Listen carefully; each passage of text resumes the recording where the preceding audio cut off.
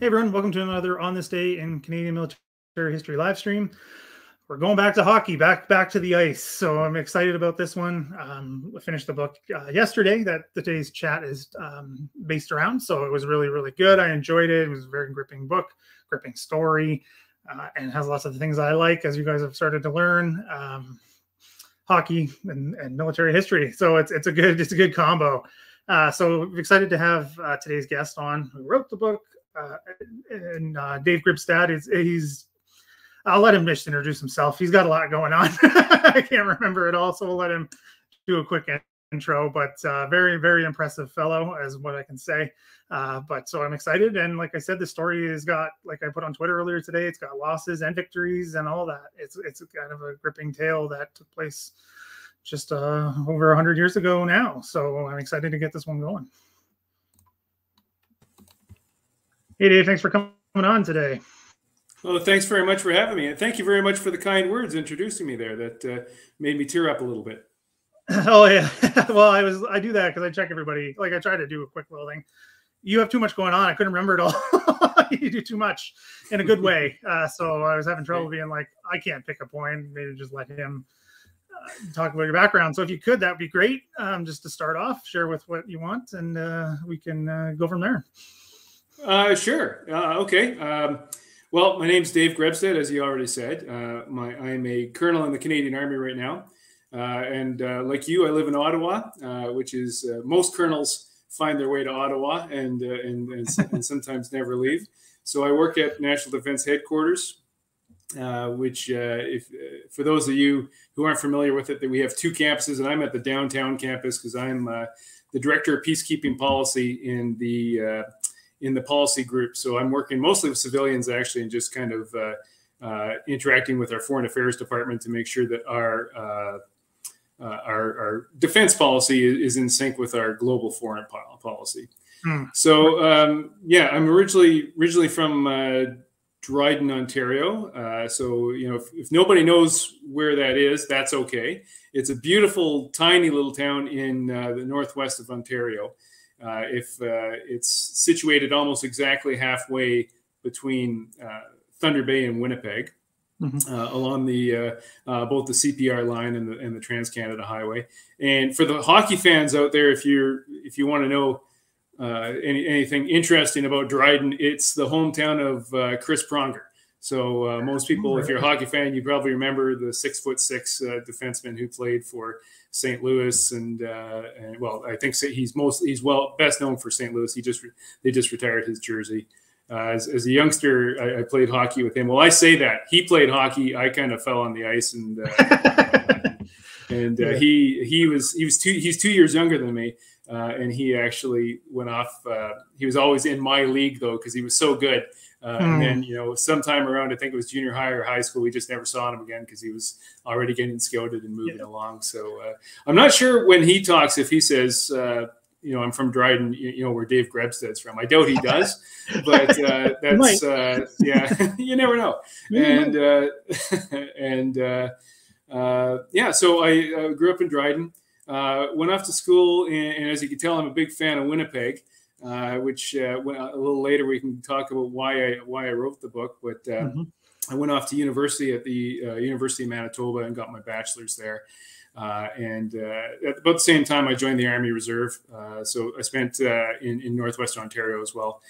spent I managed to squeeze a four-year degree into five years at the University of Manitoba. then worked at a number of uh, I guess less than uh, less than exciting jobs afterwards as I tried, pondered my career choices and eventually I decided well I need to uh, I need to have a career. So I transferred to the regular force of the army.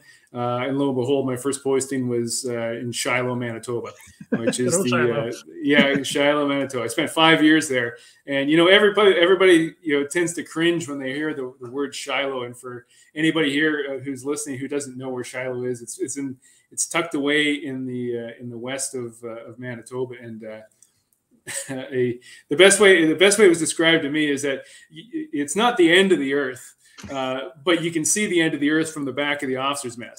and uh, so, but but nonetheless, it's I actually thoroughly enjoyed it. Didn't mm, necessarily good. enjoy the winters. Well, uh, but I, yeah, I met my uh, I met my wife there, so I'll always have fond memories of Shilo. Uh, literally in the gym, in the base gym in uh, in Shilo. So, and uh, we're still going strong, 17 plus years later. Uh, and yeah, and so so all that is to say that I spent a lot of time in Manitoba. and developed a, a real affinity for the city, city of Winnipeg. I go back and visit as often as I can, but you know, due to COVID, it's not as not as often as I, as I would like.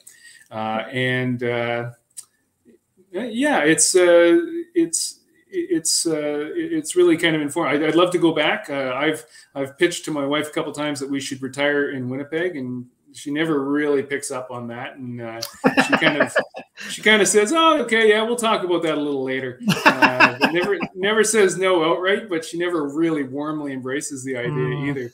Uh, but so I'm hoping. Sadly, you know, due to my trade and my and my and my rank now, there, there are no actual positions. Uh, well, there's one in position in Winnipeg for an Army Colonel, and maybe I could slide into that sometime in the future. But uh, uh, up to this point, the Queen hasn't uh, felt it uh, an appropriate use of my talents. So, mm. so that's me in a nutshell.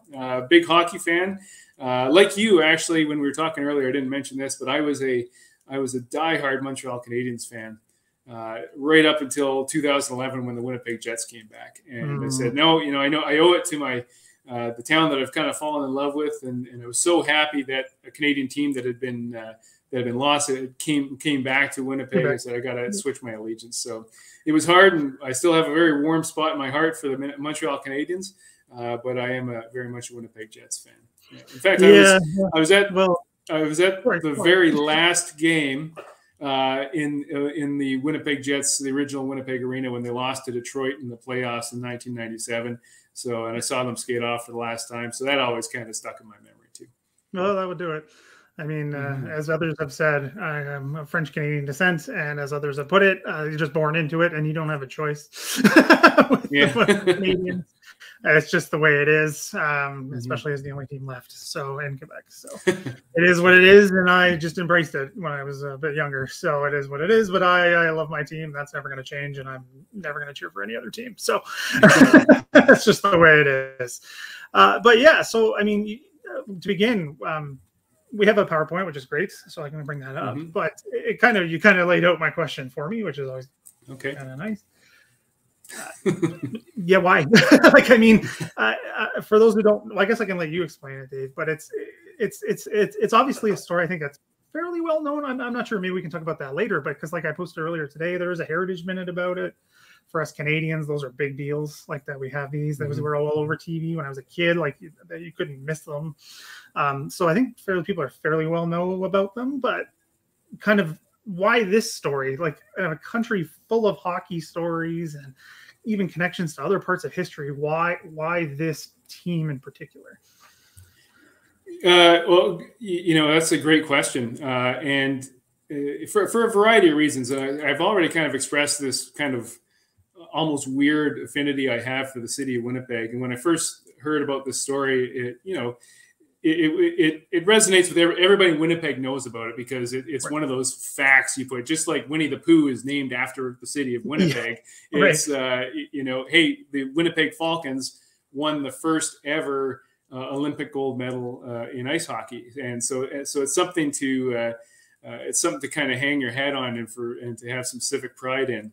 Uh, but you know, as I kind of went through my career and I, I, I got my bachelor's in history and uh, um, at the University of Manitoba, and later my Master of Arts in History at University of New Brunswick, and I became a real kind of amateur history buff. I, I read more. I, I, realized, and for those who don't know, the uh, uh, you know the name of my book is The Confluence of Destinies, and I called it that because right. the uh, the the number of things that had to go right for the Winnipeg mm. Falcons to actually win the gold medal.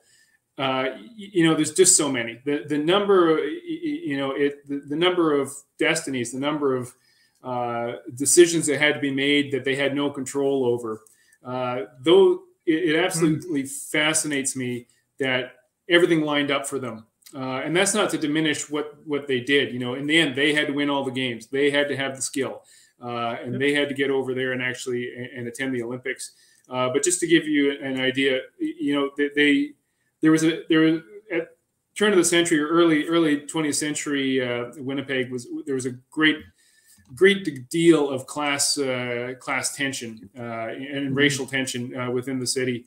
Uh, and and it's no it's no secret that uh, this team, which was um, predominantly uh, kids of Icelandic descent, um, were you, you, know were, were discriminated against to a degree, and, right. and yeah, there even when after the war, it, it, didn't even look like the, they were going to be allowed to join the Manitoba Senior hmm. Hockey uh, uh, league because you know there were there was there were invested or there were there were like hockey leadership that wanted to focus on what they called the big three, which were uh, the the three city teams. Uh, uh, so you know that's just one example of something they had to overcome. But you know if if and probably a lot of people here aren't aren't uh, aren't familiar with the history of the Icelanders in Canada. Mm. You, you, know, so very very briefly in, in the late 1800s 1870s, uh, uh, a small colony came and settled in the Muskoka region. Uh, and uh, and about half of them went off to Wisconsin. The others kind of stayed in the Muskoka region of Ontario. If, if, if people aren't familiar with that, it's just kind of north of Toronto, uh, just by a few hundred kilometers. And uh, and they, they weren't they weren't very successful. So you know, eventually they started looking for other options, and, more immigrants from Iceland were, were coming. and uh, so, with the help of no less than the governor general at the time, uh, they they found a colony or they found a a potential uh, uh a colony site in Manitoba in what's called the Interlake area, which is the the kind of the the the, uh, the the strip of land in between Lake Winnipeg and Lake Manitoba, and and they eventually everybody agreed that they could move there. So they traveled up there, brought all their belongings.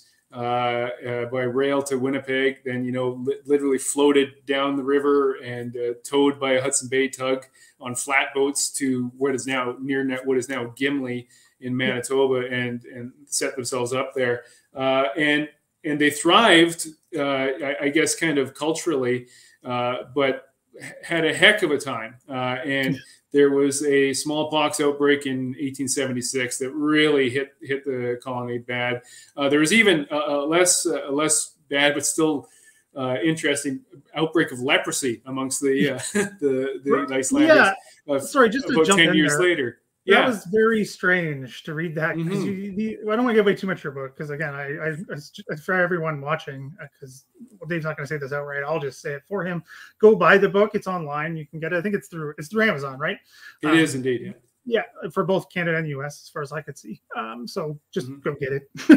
but that said, like the, the, that's what it is. Like um, me and Dave were talking about this, and why I really like this book and appreciate it is it's yes, it's a story about a hockey team who has that's made up of First World War veterans, but there's so much more here. And as Dave's talking about with the Icelandic connections, like some of you are learning that live in Wisconsin, you know, that have can you know know these some of the descendants of these people, right? It's it, it's really interesting to learn all these different things. It's it's very cool. So um, mm. uh, anyway, sorry, yeah, the leprosy thing that was not what I was expecting. You know, you don't hear you know late 19th century. You expect I don't know like measles or something like that, but not leprosy. Yeah, that was very strange. Yeah.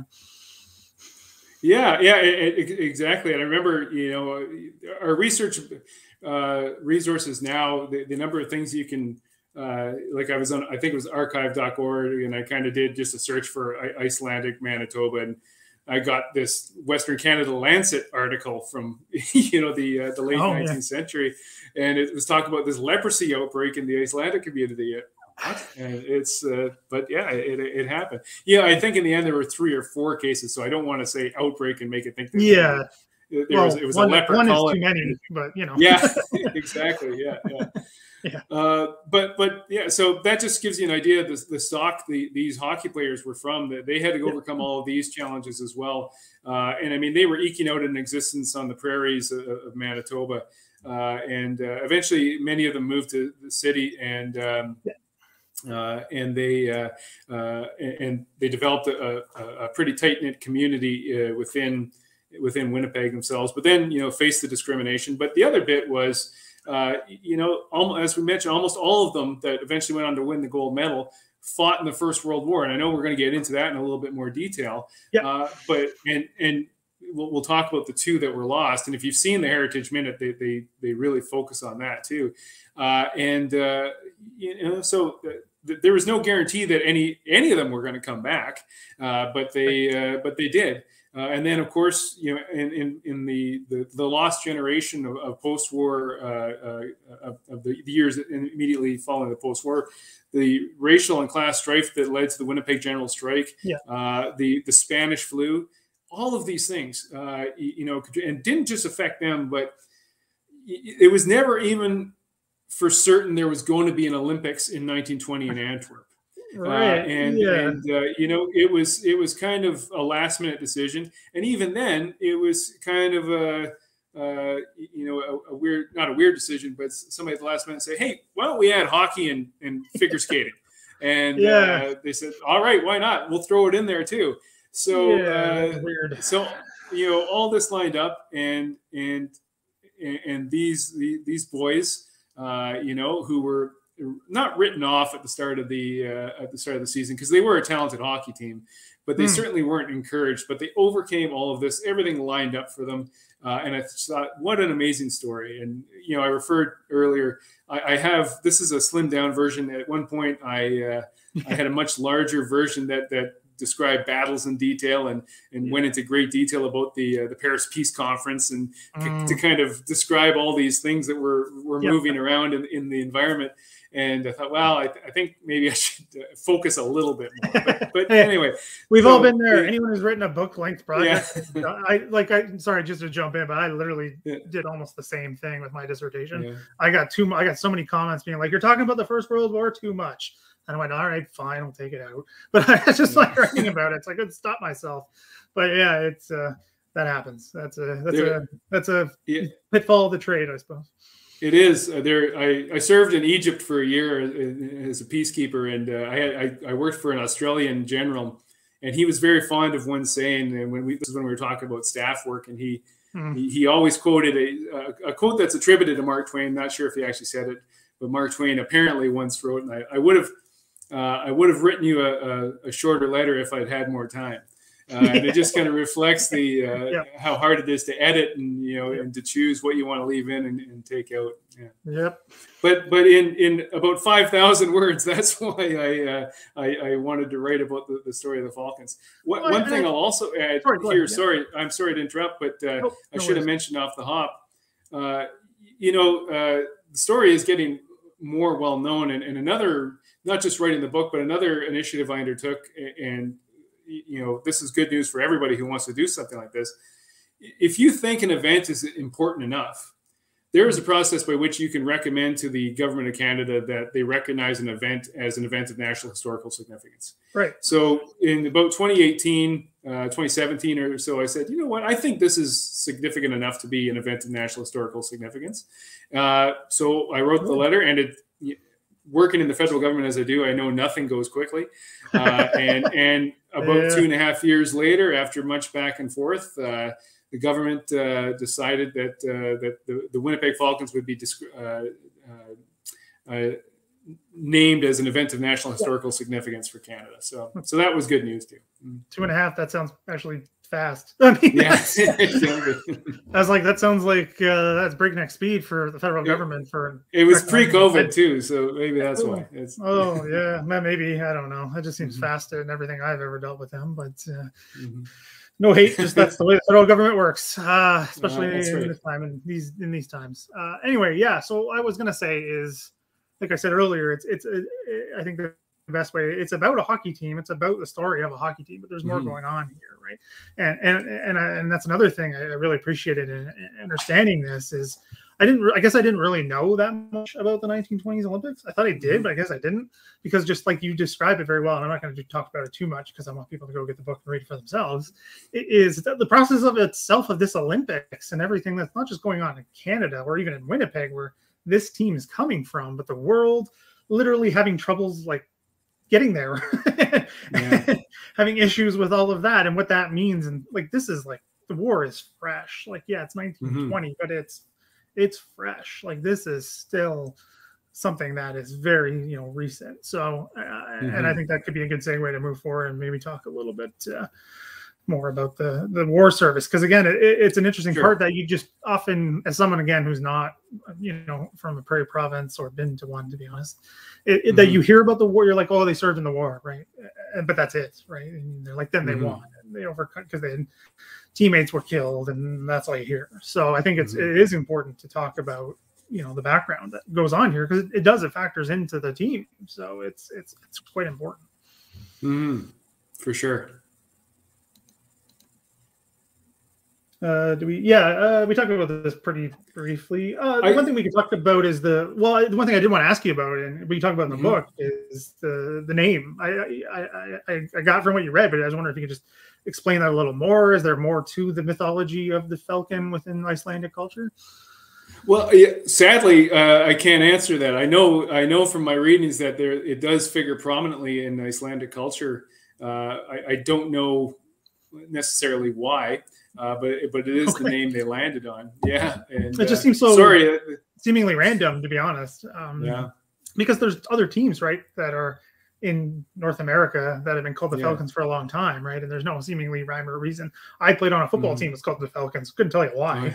it was just the name, but yeah, that's just what got the wheels turning. But it is it's connected to the uh, the Icelandic um, um, heritage and culture. So uh, yeah, so that, yeah, the, maybe one, you want to talk about the team just before the war, and then we can go from there.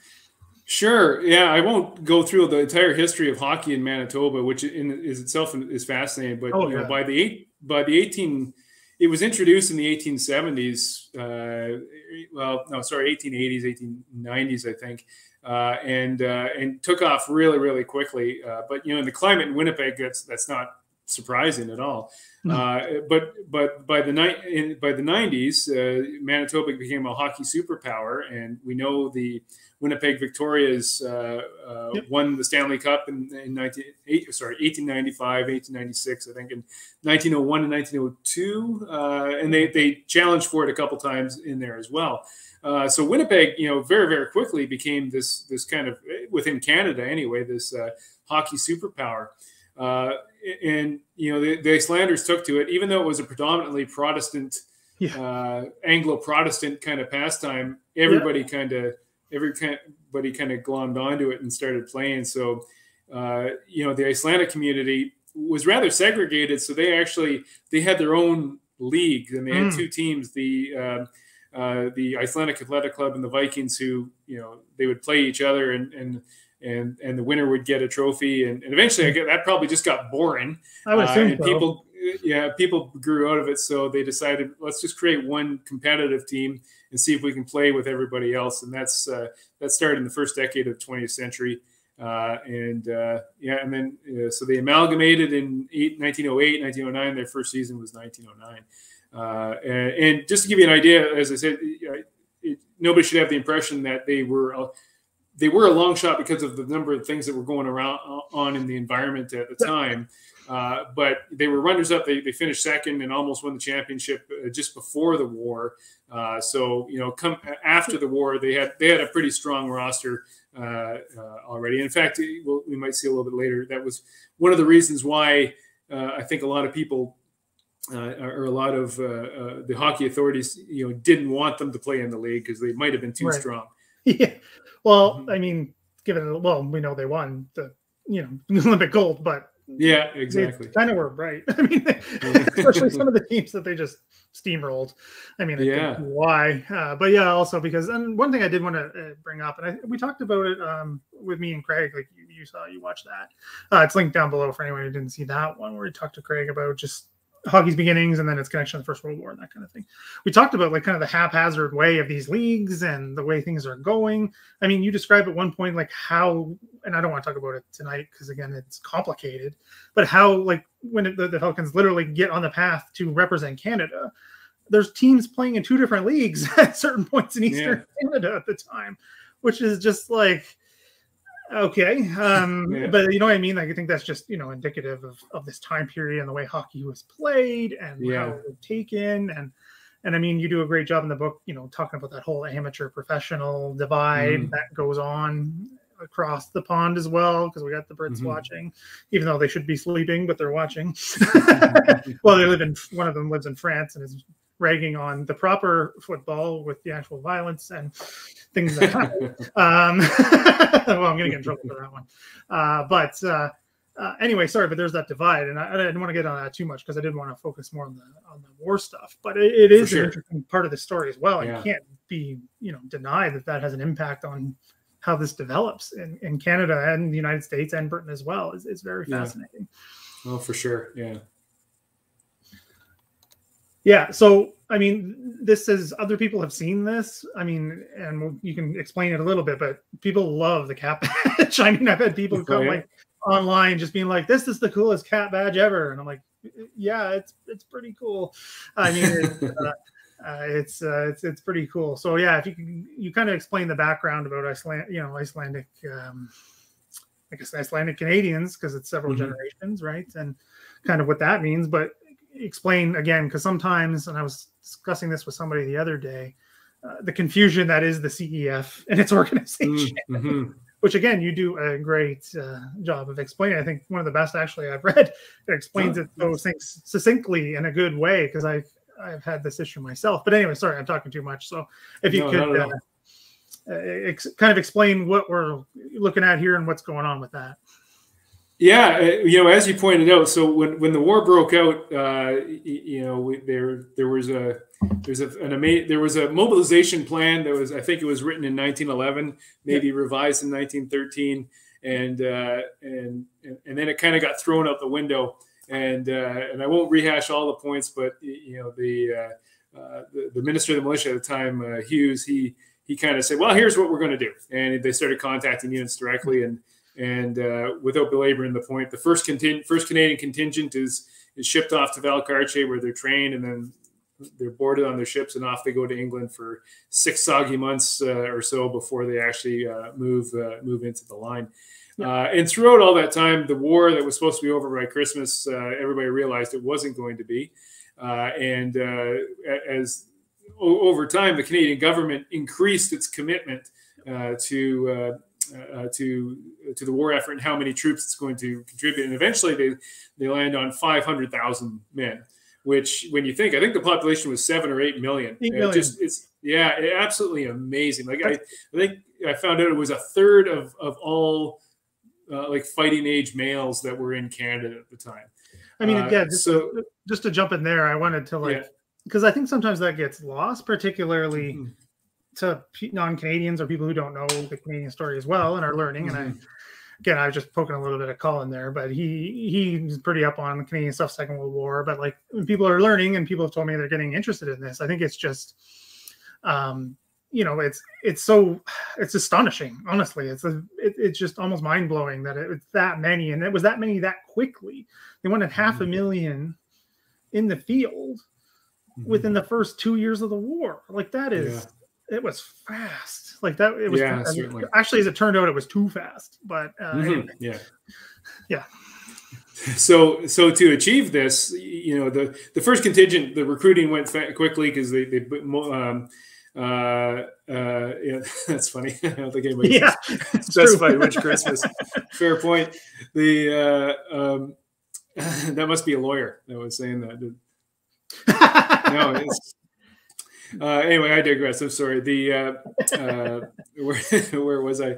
The, uh, uh, the, the initial contingent was recruited. Recruiting was rather easy, uh, yes. but then they, you know, the government kind of realized that they didn't have the resources to recruit that many people. So they, right. they started they they undertook a kind of a public private partnership and and and all of a sudden there was these recruiting committees set up across the country uh, for people who uh, you, you, know local local businessmen or, or societal leaders you know who, who would form a committee and say we're going to raise a battalion uh, so they uh, they would get a committee together uh, say hey let's raise a battalion and they'd fire off a request to militia department and uh, somebody in the militia department probably the minister himself i don't know would, would say right you're granted a battalion off yeah. you go and uh, and and, and, that's why I wanted to talk about this because of all, all almost all the Falcons, uh, you know, passed through or belong to yep. the, the 223rd Canadian Scandinavian Overseas Battalion. And of course, these battalions that they were raising were overseas battalions, and it's important, I think, to clarify what that means. Yep. They, uh, even though it sounds like they're they're they're, they're made for service overseas is actually means we're going to get you overseas but once you get there you're going to get folded into as you mentioned earlier the battalions of the of the canadian expeditionary force so of course the, the government you know uh, eventually lands on four divisions and a cavalry brigade and the divisional artilleries that support it and all the other ancillary troops and whatnot. And uh, so so those units just stayed throughout the war and all the troops came in. But to command, control, administer them, there needed to be some sort of structure. So these overseas battalions were created in Canada, uh, and they would recruit and they would, you know, uh, they would have, as you can see, their own cap badges, their own accoutrement, uh, and they would recruit and train the uh, their soldiers, and then uh, off they go. So uh, the 223rd is the battalion that they that the, most of the Falcons served in. There's an interesting story. I don't know if it's in the on the next slide or this one, but it was there was a bit of drama involved in this as well because. Uh, oh no, I can. I'll come back to that in a bit, but oh, you can leave it here. That's fine too. Go back. Go back. Go back. We're good. okay, We're that's fine. the the um, you know two two committees kind of got came together and said let's they, they really they really uh, appreciate or, or had um, respect for the, the, the Scandinavian stock. So they said, let's. There's lots of Scandinavians who had settled in in Western Canada at the time. So these two committees both proposed that they uh, uh, uh that they they raise a Scandinavian battalion.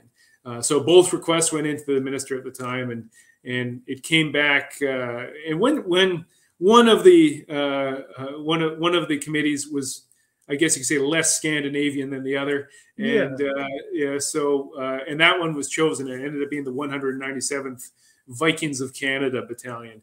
Uh, and its first commanding officer had the, the distinctively non-Scandinavian name of Alfonso Fonseca, and uh, and uh, he was he was a, a, bank manager, I think, a, a former vaudeville uh, performer. Mm-hmm. Uh, but he but this raised a bit of a hue and a cry uh, amongst the the Scandinavian community in uh, not just in Manitoba but throughout Western Canada. So eventually, the minister, uh, the militia department relented, and they uh, they authorized the creation of the 223rd Canadian Scandinavians in February of 1960. Yeah, and I, I just sorry again, again, I keep saying these same points, but I just because the, the so mind blowing is the cast of characters is the only way I can think of even describing most of these mm-hmm. historical figures. That's just an example. That's I was reading that. I'm like, oh, because you, you, wrote it that way, and I'm like, oh, it's gonna be like I don't know, like you know, like Don Smith or something. And it was like, yeah. I was not expecting that. so, that was that was out of left field, particularly yeah. for you know Manitoba at the time. Uh, to have a name like that, even in anywhere in Canada, would have been mm-hmm. extremely mm-hmm. rare. But again, I think it, and I think a lot of people know my opinions on who was the minister of defense at the time mm-hmm. and militia sam hughes not a fan i'm not going to hide it i don't think mm-hmm. he did a good job ever but again it's just that ad hoc politically motivated sam hughes i don't know empire basically mm-hmm. that was just so i think poorly handled and again this is just an example like they're up to 223 battalions and there was more yeah. it's yeah, just exactly. way too many like it just it doesn't make mm-hmm. sense but anyway that's just another point i if i can get a sam hughes dig in i will and i did so. Outstanding. Well, yeah, maybe we'll throw Ross Rifle in there somewhere. oh, yeah. Oh. Another one of my favorites. But uh, yeah, so you know, we, they created these overseas battalions with the intent then being they get shipped overseas. They'd arrive in England, and uh, and essentially the battalion they they like get off the ship, get transferred to uh, whatever base they would have, normally you know Folkestone or, or in, uh, in, the east of England, uh, and then they get folded into these geographically based regiments. So they got folded into the Manitoba Regiment, uh, which uh, and specifically, if I remember correctly, the 18th Reserve Battalion, or no, maybe the 11th Reserve Battalion. 11. I can't, I can't, yeah, I think so. But but the Manitoba Regiment had the 11th Reserve Battalion, and I think the 18th and one other. I can't remember all of them. Yeah. Uh, with the intent, those then became feeder units that would send them out into, and they were they themselves were affiliated with specific battalions uh, mm-hmm. that were actually in the CEF. So you know the. Mm-hmm uh, the 11th Reserve Battalion had, was responsible for, I think, the 27th City of Winnipeg, the 28th, yeah. and, and, maybe something else. Yeah, sorry, just to jump in again, but that is mm-hmm. what I was saying when you wrote it. I'm like, I wish I could have written it like that because it is so confusing. you have these overseas mm-hmm. battalions. which are actually based in Canada for the majority of their existence. They ship them across the Atlantic, they get to Britain. They're just basically fed in. Well, at the beginning, they were just fed in randomly. They were just broken mm-hmm. up and fed in, and then they made it geographically. So that throws people off. Like you just said, there was a Manitoba regiment. I'm like, they never fought. That's not their point. Because mm-hmm. people said that and get confused with that. And I don't blame them. But then, and yeah, and then they just work their way through this system, but it's all affiliated. And, and it does make sense once you get into it, but it just, mm-hmm. it's so confusing at first because, again, the numbered system is so confusing. Yeah because it wasn't the plan, and then yeah. went with it. But anyway, so it is. It's a, it's a it's a complicated thing, and I'm not yeah. claiming to ever make it simplistic because it's just not. anyway, sorry. I wanted to say, yeah, no Colin problem. is not a lawyer. He's battlefield guide tour, but he said he needed a lawyer a few times. so yeah, we're just, poking, we're just poking fun at you, Colin. It's all good. And but Lorelai, who is another frequent viewer and supporter of the channel, actually was a lawyer. So there you go. We we have one in the crowd today. Hey, the, the best man at my wedding was a lawyer, or he is a lawyer. Go. Yeah, so yeah. there we go. We're we've all we're all connected. Yeah. yeah. Did you want to keep going on the slides or stay on the? Slides? Uh, yeah. No. Well, well so I, I, get we can go to the next slide. I think. Uh, so as we we've been kind of talking, you, you know, where is it in the and we'll get to a bit more of this in, in the, on the next slide after this, but. Yeah. Uh, whereas the, you know the first contingent went to uh, sorry to Valcartier yeah. uh, and did all their training there. They it, which didn't really go terribly well and, and for a number of reasons. And uh, but even that, you still have to uh, admire the logistics of, of what they created. Uh, yeah. The oh, yeah. Yeah, for the second contingents and beyond, and all these overseas battalions, they the government decided, well, we're just going to leave you in situ. So you get recruited, use some local infrastructure, uh, we'll train you up at one of the local camps, and then we'll ship you out. So, so sure enough, all, all these these chaps uh, join these overseas battalions, uh, and now you have battalions of young men, you know, in uniform, getting paid, but kind of milling about, uh, you know, cities and whatnot. And uh, so the uh, until they were actually shipped off to to actually do their training. So, so of course they had to have pastimes, and, and sports was was big in the uh, 20, 223rd. And the picture on the left that you see here is the 223rd Overseas Battalion hockey team. Uh, and uh, I've circled with red there all of the players who would, would go on and actually they were members of the Falcons gold medal winning uh, uh, uh team a- after the war. Yep. So it, it, they they they they joined the team and they actually played. So you know the Falcons played in the the year previous the uh, the 15 16 uh, season. Right. Then everybody joined. Uh, and a lot, and, and the local uh, hockey authorities were were really concerned. I think you and Craig Baird talked about this. You know, they were concerned that there wasn't going to be enough men to play hockey. Yep. So they said, "Well, we'll solve the problem by letting the soldiers play hockey." So, uh, so then you have all these leagues that uh, that included these teams like the 61st Battalion, which actually won the Allen Cup, and the 223rd, and and some other uh, some other teams uh, who uh, who played in these leagues. So the they essentially folded the Winnipeg or the Manitoba Amateur Hockey League and. Uh, and I can't remember the name of the other one. And they created, you know, in the season of 16 17, the Winnipeg Patriotic League, yeah. which uh, they call it patriotic because there was a couple uh, battalion teams in there, but also the um, the money from uh, the gate receipts because this is all amateur. They weren't allowed to make any money for playing right. hockey. So gate receipts, all the money and stuff were, were, donated to what would now we would call like soldier on or any kind of support support the troops or uh, a kind of endeavor.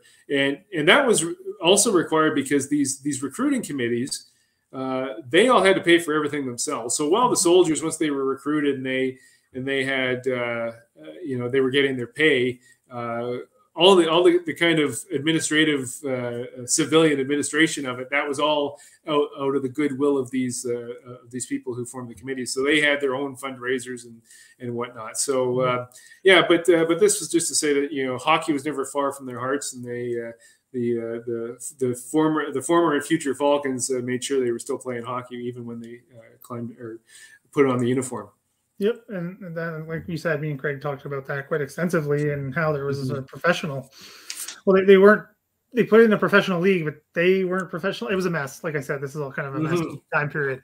Uh, but anyway, that's what we were talking about. Me and Craig led to the impetus of the NHL because They yeah. literally went overseas and they had to leave halfway through the season, and then that caused the whole ripple effect that went to modern day NHL. So it's just again, it's so complicated, so confusing, and people who's in control of what. Even the people who are in control don't even know half the time, but they're still playing hockey. So that's why I think this mm-hmm. story is so fascinating to me. Is no matter what's going on, Canadians are still going to play hockey in any way, shape, or form. I mean, it's yeah, it's kind of kind of a thing. For sure. Oh, uh, sorry. We had a quick question actually. Yeah, uh, I think I, we covered it a little bit, but Colin's asking, uh, maybe talking about the the units specifically. I'm not sure, but I know Folkestone was one of them. I'm not sure what the other major town was for majority of the war. Sutcliffe, maybe I can't remember. It was the, the uh, 223rd. Uh, well, the, the, Manitoba Regiment and 11th Reserve Battalion were in Shorncliffe in uh, in, in, Folkestone, I think, and I, I, read somewhere Upper Dibgate Camp specifically. Yeah, uh, right. I, I, don't know exactly where that is. I know it's it's near Folkestone on the east coast. Uh, yeah. not far from Dover. I did yeah. a little bit of a map. I think that, that was the majority. There might even be a slide. There might even be a slide going going forward. Oh, maybe uh, I can go look and check. but I, uh, well, that's a good chunk of the well, the Canadian units were based around that area, as far as I know. Yeah, they weren't really anywhere else because it didn't really make sense to put them anywhere else. Uh, no, that's Camp Hughes. That's different. Um, yeah. Anyway, maybe we can come back to that if it's in the slides. But anyway, so yeah, that's sure. uh, they're still playing hockey. Sorry, go on, go ahead, Dave. No, and that, that's really about it. They but they also played. There was all sorts of other sports leagues, but that's how they, they kept their uh, uh, you know kind of kept them busy. And then in the summer of uh, in the summer of 16 uh, they uh, they got shipped off to camp hughes which is a good transition to the next slide. There we go. So so like valcartier camp hughes was um, uh, you know a militia camp that was set up uh, to for you know at the time canada well i shouldn't say as of 1871 or so uh, canada started having a permanent or professional military and you know by the time 1914 rolled around we did have a, a, a professional military, a very small one. Of course, you know, at the war, they were the first ones out the door uh, with the first division. Uh, but the rest, the majority of the Canadian military, you know, uh, up until I think even well post-war, post-Second World War, were active militia, which means you know Army reservists essentially. Uh, so in, in, the map you see on the left, kind of that that kind of they divided the the country into into military districts, and military district ten was the one that encapsulated uh, Manitoba and northwestern Ontario. I think even this might be a bit off. I think at the time of the First World War, it included Saskatchewan too, but I'm not entirely sure. Uh, but nonetheless, uh, yeah. you, you, know the uh, just for my personal research, they they used to have camps like north of Winnipeg. Uh, and they would fire artillery. You know, if, if anybody's familiar with Winnipeg, there's a there's a penitentiary now in uh, near Stony Mountain, and, uh, and, it wasn't populated at the time, uh, so they could go off and fire the artillery there. But eventually, Winnipeg got too big, so they established uh, uh, Camp Sewell, which is kind of on the right hand map, kind of where it's located, and not well demarcated, but you can see it's just uh, it's just west of Winnipeg and, and southwest of the of the Manitoba Lakes. Uh, and and it was created to uh, uh, specifically for the militia soldiers to to train in. So once with the second contingent and, and mm-hmm. follow-on forces, they decided they weren't going to centralize them in Valcartier. Suddenly, all these uh, these militia camps that were all over the place became more important. So essentially, all of Western Canada, or a big chunk of Western Canada, anyway, the recruits from there fell on uh, on camp on Camp Sewell, uh, which was renamed at the request of the CPR, uh, Camp Hughes, after your favorite minister of militia. Nice. Uh, and it, it, was named Camp Hughes in, I think, uh, the, the, early months of 1916. At least when, when the when the Falcons and the 223rd arrived there, it was Camp Hughes, I believe. Yeah, it was. Uh, so so it's located, and it is the the precursor so to camp to CFB Shilo now. It's yeah. not exactly in the same location. No. You know, at some point, I think in the 30s, they moved the camp to what it, where Shilo is now. Uh, but Camp Hughes was when they was where they did their training. And next slide, I'll show you, I think, some of the photos from the place. So, in the summer of 16, uh, you know, numbers I've read different numbers, but between 27,000 and 30,000 troops descended on Camp Hughes. Wow. And so, so for a camp that had been built to, you know, maybe train 1.5 or 1,500 or maybe a couple thousand in the summer. 2,000 max. Yeah, it, it, you know it. Uh, yeah. it, it actually turned into this sprawling uh, uh, camp, and I, I, added the theaters there. There, there were six movie theaters. There was a Midway. There was a uh, there was the banks set up satellite uh, uh, yep. offices on on the camp, uh, and the the trenches that you see on the top right there. A lot of them are still maybe not in really really great shape, but Camp yeah, right. Hughes is is a, a if you're World War One enthusiast, you should go to Camp Hughes in Western uh, Manitoba because it still has those trenches laid out, and and you can almost see uh, exactly where the camp was and and how they trained uh, uh the, the, recruits at the time. So throughout the summer of 16, the 223rd, along with I you, you know I think. Uh, 30 other battalions or something like that were mm-hmm. were at some point anyway passed through Camp Hughes to do their training uh, at the end of that summer, they got kind of the check check mark, and uh, they spent the rest of the winter in Portage la Prairie. Uh, and then I think it was in January they got the uh, they got the word, okay, now you're off. Uh, so I think that would lead us to the next slide where they uh, they hopped on the train and they they boarded the SS Justicia in Halifax, and off they went. And there it is, the uh, they uh, they settled in uh, Folkestone on Kent, and like I said, it was Upper Dibgate Camp. I think is exactly where they were. I think so. Uh, and that's where they, and from there they got kind of parceled out to their various units, and uh, those who had been that had been and would be Falcons went their separate ways. Well, some of them. Uh, a couple of them went to the same units, but a lot of them just got spread out through through a lot of different units, which I think is where we go next. Yeah, and just to say, just to jump in real mm-hmm. quick, that was fairly common um, for the CEF and then for the battalion specifically of the Canadian Corps. It, it, didn't really. They obviously, like we said, had these geographic designations, and they they tried to keep it somewhat. Again, all of this is all over the place. Um, sorry, I'll make another comment.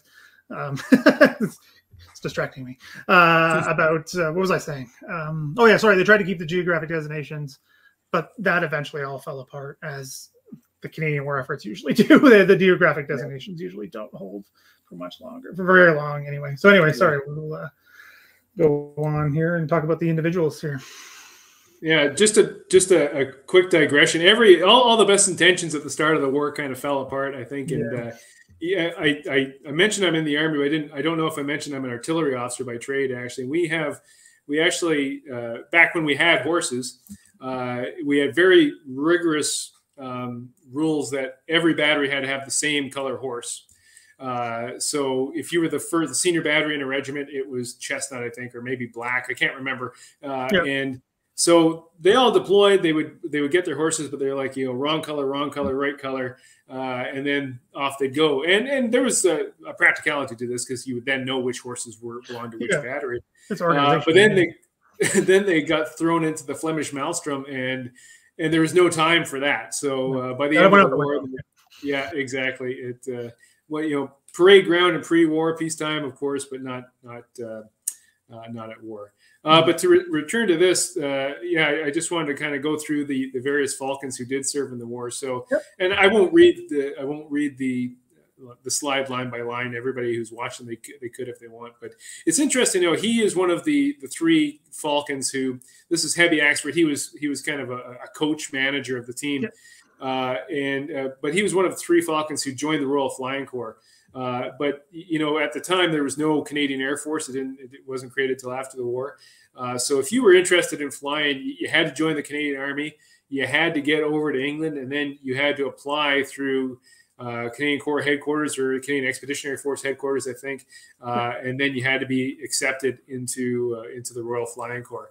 Uh, so Hebbie Axford, Herbert Hebbie Axford, he he uh, he was accepted, so he was uh, seconded, or well, he joined the Royal Flying Corps, yeah. Uh, and uh, he eventually uh, got rose to the rank of acting captain. He flew the Airco DH-9 long-range bomber. it's amazing how they kept track of these things. Like they I can't remember where I found it, but they actually had the serial number, like the tail number of his airplane.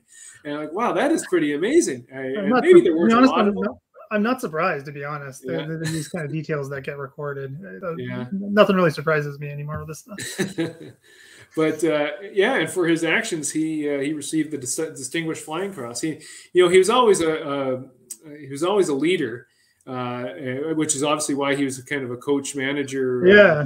Uh, of uh, uh, uh, of the of the of the Falcons, but and obviously why he performed so well. And he you can see he was promoted to sergeant, you know, months after he enlisted in the in the 223rd Battalion. So obviously they identified his uh, his leadership skills there. Yeah, you want to keep going? Sure. Yeah. I just saw a comment there about the when the RAF one April uh, April Fool's Day the uh, Air Force yeah. came into in, in yeah. came into being. Yeah, and the, and the jokes have been going. I, there's no connection between the two. I know there isn't. and the jokes have not stopped ever since. um, yeah, well, yeah, so that, but yeah, yeah, certainly, yeah. I, I just, just want to point out that uh, he he took part in 34 successful bomb raids, which, which is, is, pretty impressive. Yeah. A lot, particularly yeah. in the First World War. That's yeah. a lot, and very much I think deserving of of the uh, of the Flying Cross. And, yeah. Yeah. Anyway, sorry. There's just a lot of individuals and so many stories. You can't do it all. Yeah, I understand. Well, that's why you got to read the book. There you go. Exactly. uh, yeah. So Frank Fredrickson was their all star, uh, their all star uh, center. Uh, yeah. and he, he he was he is going to law school, I think, if I remember correctly, and enlisted in the 196th Western Universities Battalion, which was, uh, you know, only that was that, and I think the uh, Highlanders of Queens. I can't remember, but there was a Highland. Yeah, University or yeah, something like that. Yeah, Highland. but but there was only two overseas battalions that were created with with the names of universities. Even though this Western Universities was you know four or five universities, mm-hmm. so a bunch of students uh, enrolled in that, obviously. But then I think he missed his fence, so he transferred to the 22 23rd. He also uh, joined the RFC, and uh, yeah, and, and boy from Icelandic boy from uh, the north end of Winnipeg ends up in Alexandria, Egypt, flying airplanes, and then uh, as a second yep. lieutenant supporting the Egyptian Expeditionary Force. And the taking Absolutely of Jerusalem. Amazing. I mean, yeah. I, I, say this to people all the time, but I mean, people have these, uh, like I like to say, these kind of, you know, the mind's eye, the popular opinion, the popular idea, Canada, Canadian Corps, Vimy Ridge, Passchendaele, et cetera, et cetera like we get everywhere. We're Canadians are everywhere in both World yeah. Wars, and this is a perfect example. Like no one would guess, yeah, that's some Icelandic boy from the prairies is going to end up supporting yeah. Allenby taking Jerusalem. You know, it's uh, yeah. Anyway, sorry. no problem. Yeah, that's so so that's yeah. He he actually he went on to a very successful hockey career afterwards as well. Yeah.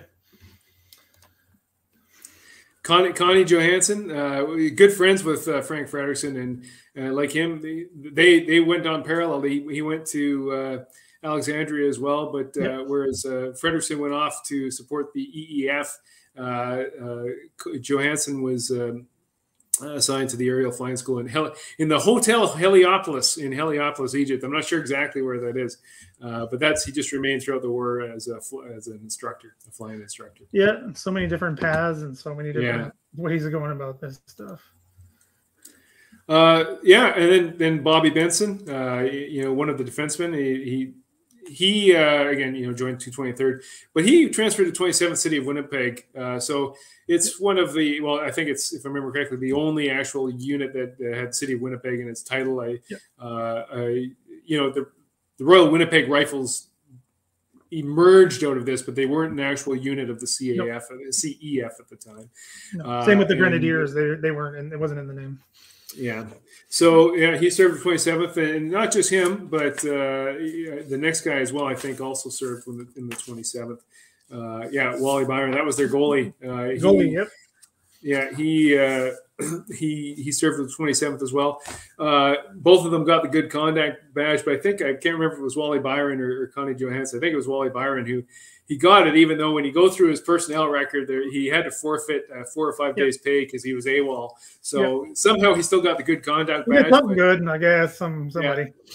Exactly. Somebody wanted to give, him a pass on that, I guess, which yeah, is very strange. But uh, yeah, he and he was wounded. So we saw that Johannesson was wounded in the knee, and and Wally yeah. Byron was admitted to the Fourth King Field Hospital with a contused abdomen. That happened after the war stopped, though. Like the war ended. This was after the armistice, so I'd like to know if he was still around. I'd like to say, what happened? How did you, did you get a confused abdomen? What were you doing? uh, who knows? I can only speculate, but I know maybe they were playing hockey. Or, probably uh, playing. Well, I was going to say either hockey. that or I'm assuming alcohol and fighting was involved. Yeah, that that could be too. They a lot of that players. in the D mob period, uh, yeah. especially in the First World War. A lot of oh, Anyway, yeah, and a few murders too. Oh, more than a few. Yeah. Riots, everything. Yeah. yeah. Anyway, exactly. maybe that could be another show. Yeah. demob violence. Sorry, demobilization is demob. Uh, yeah, and then this, of course, is the is the loss that I alluded to. Yeah, it, exactly. So if anybody's you know seen the Heritage Man, as I mentioned earlier, they they really they, they kind of highlight the fact that uh, uh, you know two of the Falcons were lost. So Frank Thorsteinson was one. He was born in Selkirk uh, in November 1994. Uh, again, I won't re- read all through this, uh, yeah. but he actually ended up in in, uh, in Swift Current, uh, and so he didn't actually join the 223rd, even though he he was from Winnipeg and, and he played uh, yeah. he played with the Falcons before the war. he got transferred. he, he ended up in deep or sorry D Company of 10th Battalion. fought through a few things. Uh, and then, uh, you know, on the 12th of March, 1908, he was part of an eight man raid. So I just wanted to mention here, I'm sure a lot of people are familiar with uh, like uh, World War One tactics, but by throughout the war, raiding was so important. It was one of the ways you, you captured prisoners to get information. You you kind of uh, you defined the layout of the uh, of the enemy trenches. So raids happened a lot and uh, and whenever they went off, you know, often the uh, whether it was a raid against the Canadians or a, a Canadian raid or an Allied raid against Germans, yep. uh, you know, there was always the SOS flares that went up with artillery fire.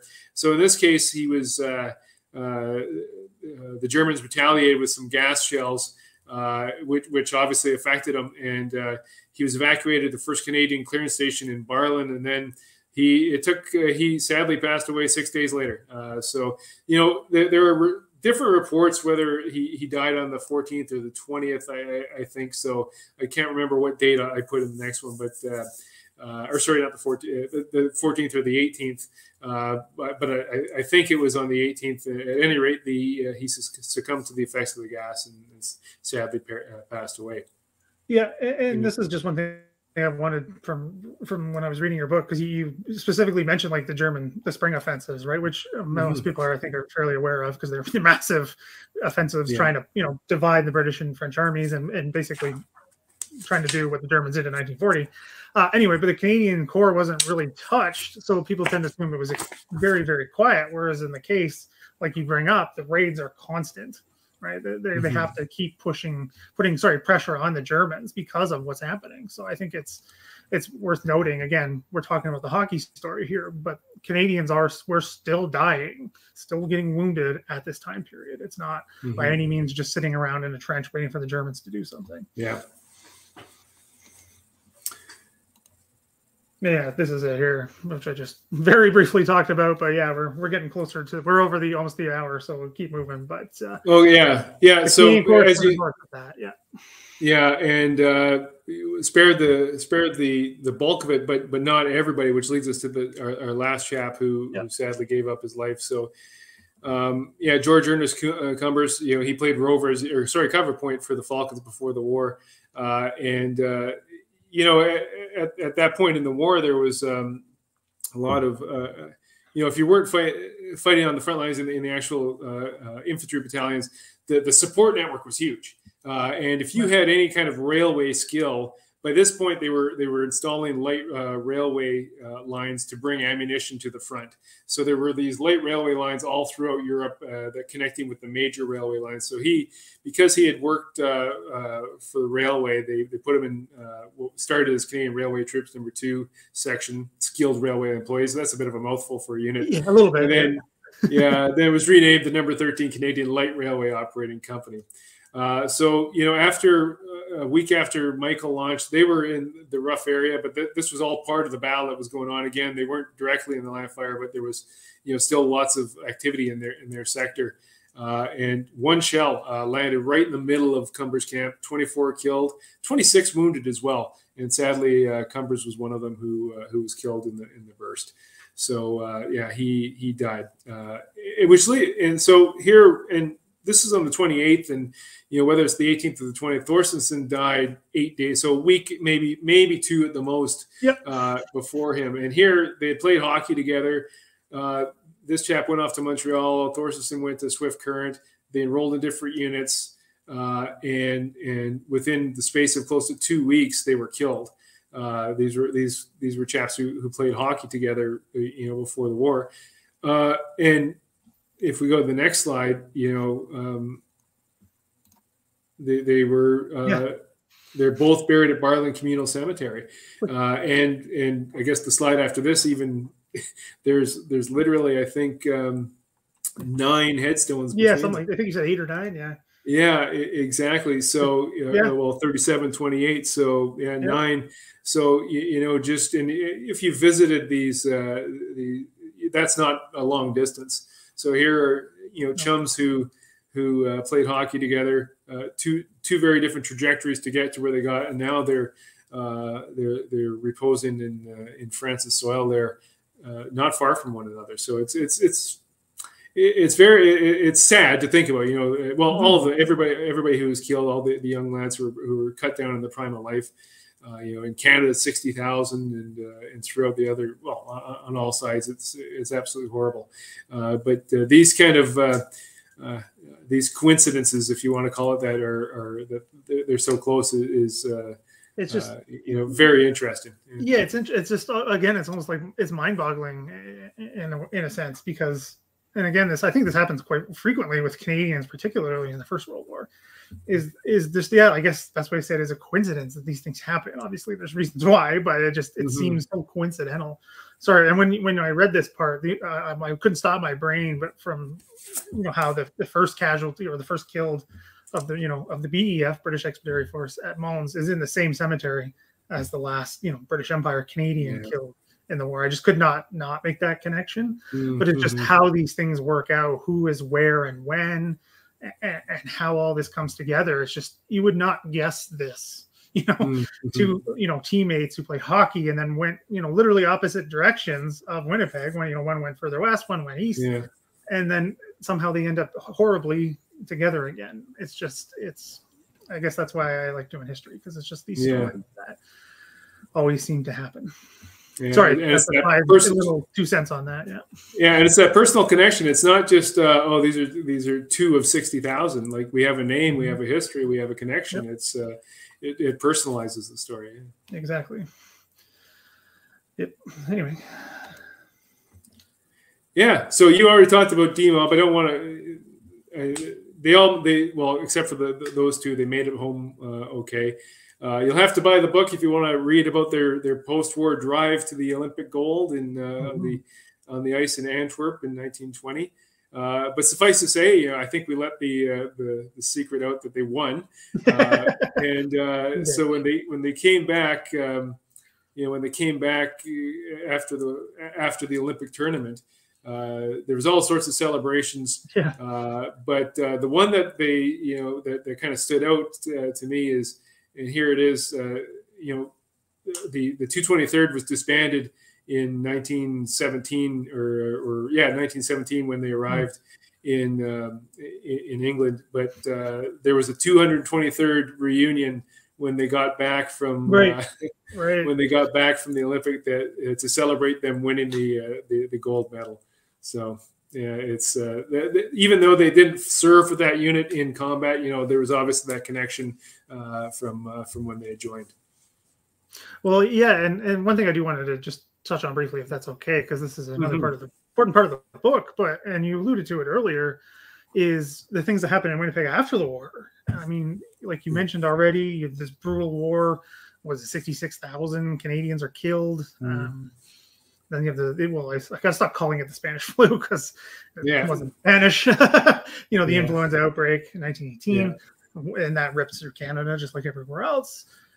But and then you have the the general strike, which as some of you don't might not know, there was lots of labor tension because I, I, actually wrote a peer review article on labor, yeah. Canadian labor in the First World War. Not really my specialty, mm-hmm. but I really did enjoy writing it. Um, there was just lots of labor strife, particularly in Winnipeg, and it led to full rioting. And like, there's mm-hmm. famous photos of this. Like, there's a streetcar on fire. which is used mm-hmm. all the time when the, the, the strike is talked about. Um, but I think, and you bring up a good point, is the the victory in the Olympics again. Sorry, spoiler alert. Uh, is used as kind of this coalescing event to bring some sort of unity back or mm-hmm. to create a unity. I don't even say back because there really wasn't any unity before the war, but some sort well, of you know community spirit. I guess I don't know if that's even the right word, but no, I, I, I think that would be the right word. You know, they've been through so many hardships. Uh, you know, it was something. It was something for Winnipeg to celebrate, and you know, yeah. it was always always maligned. But not only, you know, the one thing I'll, I'll also add very very quickly, uh, they um, they you know, Winnipeg was a booming town. It was meant to be the Chicago of, uh, yep. of Canada right. uh, until about 1913. So there was a bit of a, a crash.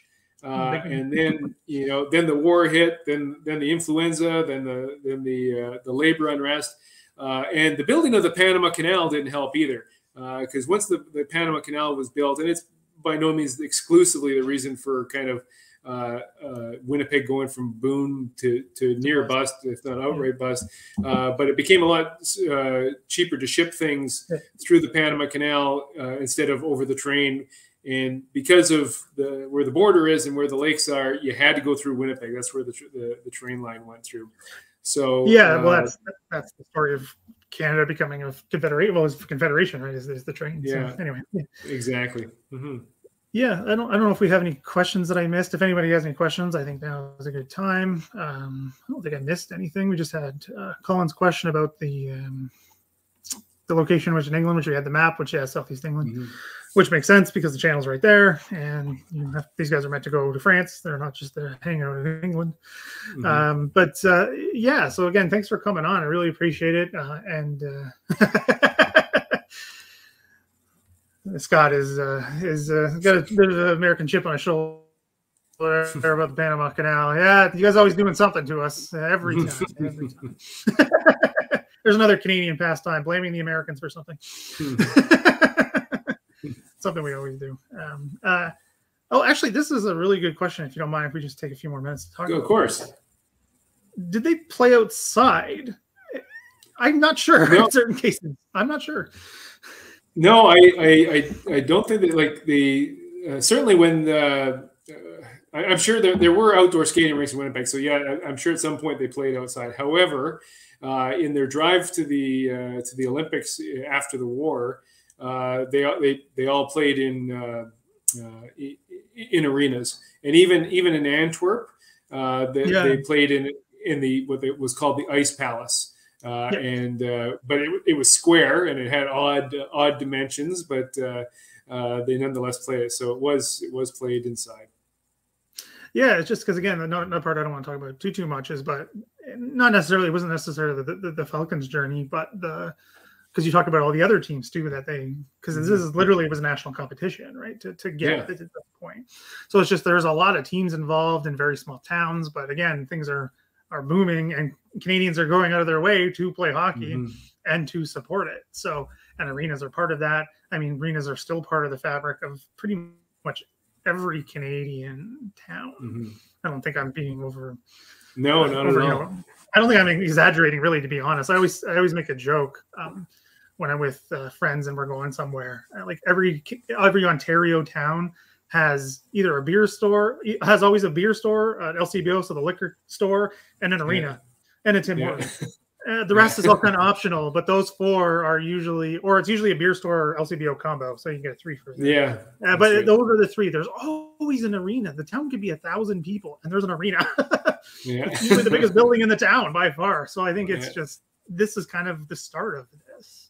And again, like me and Craig talked about for quite extensively is just the, the, the, fabric, like the role that hockey has in this country, mm-hmm. and how the stories like the Falcons are very well known, I think, in Canada and getting better. Oh, and I, I forgot to say earlier, I'll post the uh, Heritage Minute in the video after because I, I do it is it's quite it's a, quite a stirring um, Minute. It got me. I was watching it earlier today. I got the goosebumps mm-hmm. going a little bit, even though I know completely everything that was about to happen.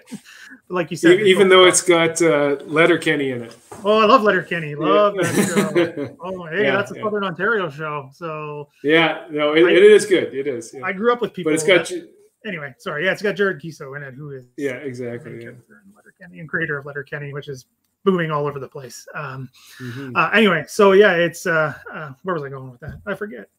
Oh yeah, the Heritage Minute. I'll post that down below. Mm-hmm. I, tw- I tweeted it earlier. You can go check it out there too uh, if you want to see it. For those of you who haven't, uh, but again, they focus on the loss of the two, which I think is is fair. Uh, I mean, mm-hmm. I'm not sure. Again, I don't know if. Well, actually, here's a question, if you don't mind. Did mm-hmm. any of these players leave writings at all in any kind of shape or form or anything like that, and how they felt about all of this? Yeah, um, the, the only kind of reference I found, and not a good one, was uh, well, I mean, it's good. I just didn't get a lot of access to it. it was Konnie Johannesson wrote a wrote a diary, and there was mm-hmm. a couple scanned pages somewhere I seem to recall that I found online. Uh, but um, I, I, wasn't able to find actually get get a hold of it. Uh, mm-hmm. I, I, believe so. Uh, yeah, most of my my resources are actually uh, you know newspaper clippings. Yep. Uh, so newspaper archive is just an absolute and, and the number of Manitoba newspapers that have been scanned, I, I, it's just a treasure trove. If you're into oh, yeah. Manitoba history, oh, yeah. Uh, you know, uh, it's it's absolutely amazing. Yeah, there's a lot, and uh, yeah, I mean that's a, that's a great thing. Well, back then too, there was just so many more newspapers. Yeah. Uh, every time, again, every tiny little town had one, uh, and yeah. usually multiple. Uh, anyway, so one final question I did want to ask: Is there anything now that you've got this book out, or anything else history related coming from you, or anything you want to do, or? so I'm yeah, I've always got uh, several projects on the go, which is probably why I, I almost never finish them. I, you know, I, I, oh. really, I'm kind of a squirrel. I get distracted pretty easily. But I hear that. I think the one I'm, I'm devoting my most attention now to is, as I mentioned, I'm an artillery officer, and I'm, I'm fascinated with the, the history of, of the artillery. Uh, is I'm hoping to, uh, I'm working on a project that'll kind of explore uh, the the technical. It'll be a historical, technical, tactical uh, survey of uh, of uh, artillery during the of Canadian artillery specific, specifically during uh, the First World War up until Vimy Ridge and how the development mm. of uh, tactics, techniques, equipment, the the entire uh, the core the artillery that supported the Canadian Corps, how it became what it was during the assault on Vimy Ridge. So stay tuned you know that might uh, i've been working on that though for uh, almost five years so who knows how much longer it might be another five years till i get yeah I, I, get that. I mean i've got things that i yeah. I had i had i had aspirations to to publish it at the, the same time as the 100th anniversary in 2017 and you can see that it's uh, just missed it by that, that much went yeah exactly yeah. just that much uh, but anyway, well, you did. You wrote a, a great article. Again, this is completely unrelated. Well, no problem.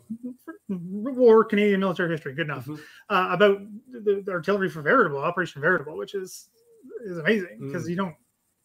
Most people are like, "What is Operation Veritable, Right? It's the clearing yeah. of island. So, mm-hmm. I mean, mm-hmm. just that's a perfect example of the stuff that you do. Because, like, again, I wasn't trying to be cheeky or anything, but uh, at the beginning, you just you do so much, and uh, I mean, I just admire it that you're able to accomplish all of these things, and then still write a book about hockey and a hockey team, and it's just it's it's amazing. And again, uh, thanks for coming on. I really appreciate it. Well, I, I, appreciate it. I appreciate the kind words, and I want to say thanks to you for what you do. You know, this oh, obviously you. with the people following here, uh, obviously love what you're doing, and it's very important. And, uh, and, and you know, I think you this is the first time we talk face to face, even though it's virtual. Uh, but we exchanged a lot of Twitter, uh, yep. 128 characters of, uh, of self-congratulatory messages or whatnot. But you know, I was really touched when you, you went out of your way to go to the War Memorial the other day and film it. You know, I think mm. we were all we were all kind of uh, um, you know certainly certainly negatively affected by what we saw happen during the uh, mm-hmm. uh, occupation protest, whatever we want to call it at the time. Mm-hmm uh, Small World, it, that, that video that kind of went viral that uh, uh, was filmed of the, the woman jumping up on the, the tomb of the dead soldier is uh, my neighbor here actually he, he only lives two doors down in my condo here he actually filmed it so commodore oh, wow. steve thornton is his name yeah and he so uh, you know we were lucky he was there i, mm-hmm. we, I just had we just happened to go over to his place for uh, for an adult beverage uh, i think the day after and I said, "What? Why were you even there?" And uh, and he he said, uh, you know, for that very reason, they wanted to they wanted to make sure that things weren't going awry at the uh, at the war memorial, and, and sadly, they, they they found evidence that it was. But you know, it's important that you you went back there, and as I mentioned, mm-hmm. uh, you know, I just down the street, there's a the National Aboriginal yep. uh, Veterans uh, Memorial as well, and uh, some local First Nations uh, are sometime in the future, from what I understand, going to hold a cleansing ceremony there because of some of the uh, uh, you know some some of the things that happened around that as well. So yeah, which is greatly appreciated by the community uh, and tons yeah. of people are in mm-hmm. support of that. I am. I mean, I, I was trying to because I was talking to people, I was talking to my parents who don't live here and other mm-hmm. people, and I'm like, because and some people were even putting comments when I was taking because I take pictures and I always stop at the the Aboriginal Memorial as well um, mm-hmm. because it just I I feel it's due respect um, mm-hmm. as do as so many other people. Uh, but anyway, sorry, just the uh, people like it's peaceful looking. I'm like, yeah, but the energy is still off. It just didn't feel yeah. right.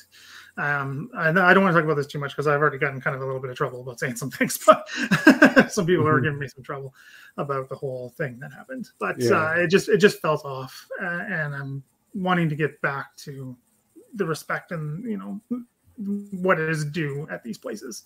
And I'm glad that the oh, local sure. indigenous groups are going to help us get back, and yeah. that I am greatly uh, appreciated for, and for you for telling mm-hmm. me that because I, I, heard that that was going to happen. I just didn't know what if it was moving forward, and and, and sounds like it is. So uh, that's mm-hmm. great, and there's a good positive end to the show. I think that's a good yeah. I think I, I, will end with a bit of a table bomb though. Just uh, uh, I, I, watched your show with Craig Baird uh, about hockey, and it was fascinating. Uh, I only flew into a into a Yosemite Sam style rage uh, when uh, at one point, and and it's important to bring it up here because I think towards the end he was asked a question about uh, how did the Russians become so good, right. Uh, and and his answer, you know, kind of you know, is a great answer. Uh, but he he at one point kind of said, well, here's how you know for so, so many times the Canadian well Canadians dominated uh, international hockey. And then he said, right from 1924 to 1952 or 56 or whatever the case might be. And I'm like, no, it was 1920. And, and that's one of the problems. and, and, and I kind of referred to that in the conclusion of my book is that the, the, the, and one of the, I should have started this up, up front. One of the reasons I wrote this book is because there's, there's still, even among intelligent, learned people, think mm-hmm. because the that the first Olympic gold medal was issued in 1924 because I think that was the first Winter Games, uh, uh, maybe. Uh, but uh, so uh, so like, no, it was 1920. Okay, we can yell so, at later. Yeah, exactly. We'll, we'll so well, that, that's why I don't say these things because that way I can't get yelled at if I don't say anything. Yeah. I can't get yelled at. We'll, we'll, yell at Craig later. Um, yeah, he can take it. Uh, but okay. yeah, no, that's, that's, a good point. It's, it's a valid point too because it's just. Mm-hmm not how it went down. Uh, but uh, yeah. anyway, so I'm just going to do a quick sign off, and we'll come we'll come back and we'll say goodbye together. All right. Sounds good. So thanks everyone for watching. Uh, I really appreciate everyone sticking through. Um, this is a great show. Great to have Dave on talking about this book. Like I said, I really enjoyed it. Go check it out uh, on Amazon uh, and and go get it. Uh, say it again. Just go get it. It's great. It, it combines so many different things that don't often get connected, but are part of all of this story of pretty much post Canada and then right after the war and First World War and how this was such an influential conflict on Canada today. Uh, and this is another lens to look at it. And I highly suggest you go and, and go do it. Uh, so what's going to come up next? I'm not going to do anything for the next quite a while. Um, back to some more crazy times again, like I've had uh, lately.